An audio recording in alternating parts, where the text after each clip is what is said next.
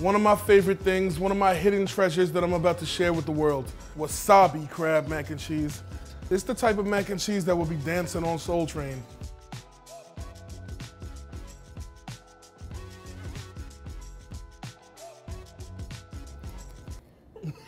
we live, we lit, we going. Back in the building. Oh look, it's sauce time. We throw that butter in. We're gonna let this melt. You just wanted to have a delicate kick, a little accent of wasabi.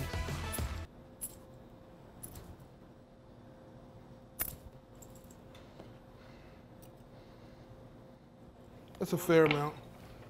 This is an infusion process. The last time I made crab meat macaroni and cheese, I was at a close friend of mine's house and he lives close to a sushi place that we love. And it was either I cook crab meat mac and cheese or we get sushi. So just the fact sushi was in the back of my mind, I'm like, oh, let me throw some wasabi in the crab meat mac and cheese. And now we're here. Damn, just this wasabi and butter is just permeating in the atmosphere right now. It smells amazing.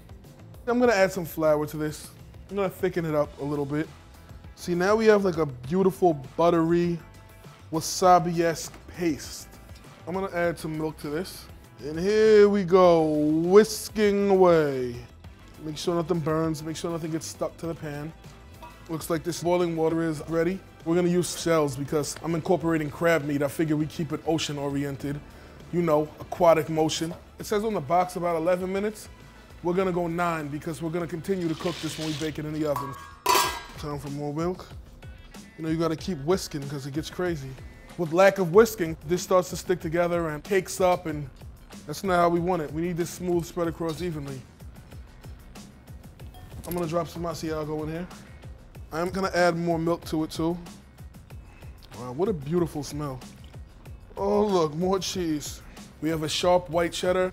They're both good, flavorful. They're not overpowering. Like, you don't want to drop a Jarlsberg in here or something because that'll just throw it off. When in doubt on how much cheese to use, the answer is a lot. But feel free to alter my recipes. At the end of the day, life's about changing things. So if you want to use another cheese, use another cheese. Just don't use yellow American. I hate that. Please. And we're gonna give it a peppery kick.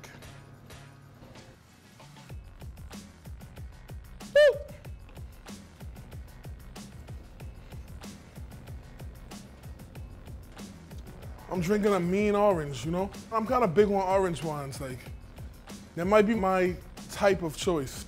White, red, rosé. No, orange.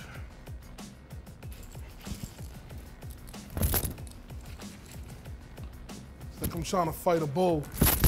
I don't know if that's exactly how they do it, but that's not the type of rush I'm into. This will be a good gift. Whoop! By now the steam has ruined the interior of my watch. Looks like this is ready.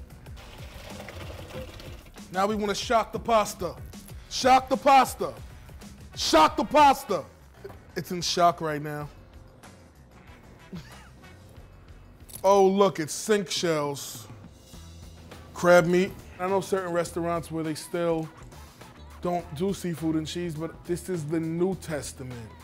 We do things a little different now. Crab is actually my favorite crustacean, despite popular belief. Even at a spot that has a lobster roll, you know if they make a good lobster roll, they make a better crab roll. Crab is just the superior crustacean, so that's what I'm here doing. I may not use it all. I may save a little on the side for myself. Only seasoning needed in this recipe, Old Bay. We want the Old Bay to hit the crab directly, which is why I didn't put it in the sauce because there's a bond between crab and Old Bay and we're not gonna dilute that with sauce of any sort. It needs to stick to the crab, stick to the shells. Who am I kidding? I'm not saving any crab. As perfect as this looks, I feel like something's missing. Splash! Oh, that's amazing. We have the best cheese sauce you ever seen in your life. Look at that.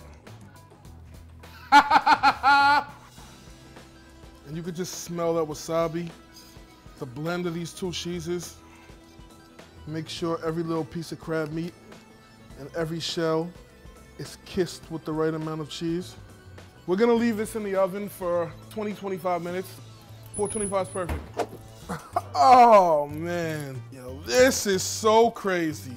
But there's still levels to this, so we're gonna start putting the rest of the cheese on top to make an amazing crust. There's been several times when I'm in the kitchen and I do this recipe and I think, am I gonna go panko or am I going traditional? Today, we're going both. Let's start with traditional.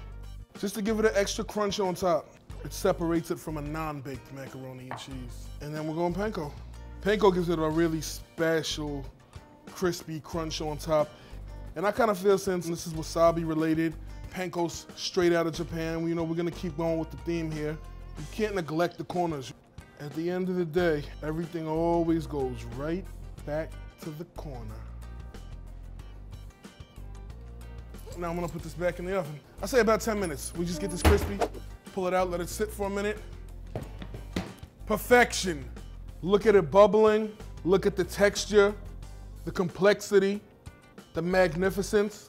Asiago, wasabi, and Old Bay hit me in the face. Like who's ever smelled that combination before? 10 minutes later, we let everything cool off and solidify. Truth be told, I wish I could put birthday candles in this because this is better than any cake I ever received. I'm gonna go right to the center, right to the belly of the beast.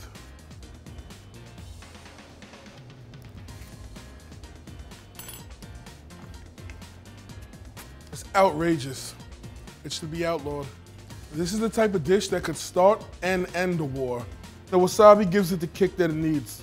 It's perfect, it's a perfect blend, but you know, don't trust me. Delve in for yourself. For the recipe, click the link below.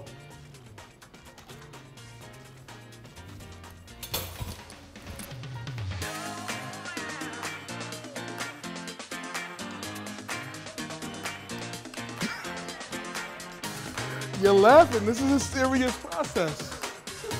I mean, it may look crazy. A man in a colorful sweater with a little spoon in his hand, but yo, I know, I know what I'm doing.